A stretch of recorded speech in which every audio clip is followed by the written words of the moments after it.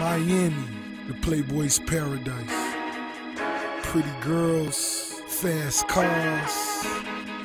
That's just a facade. The bridge separates South Beach from my Miami. The real Miami. The MIA. This is where we hustle.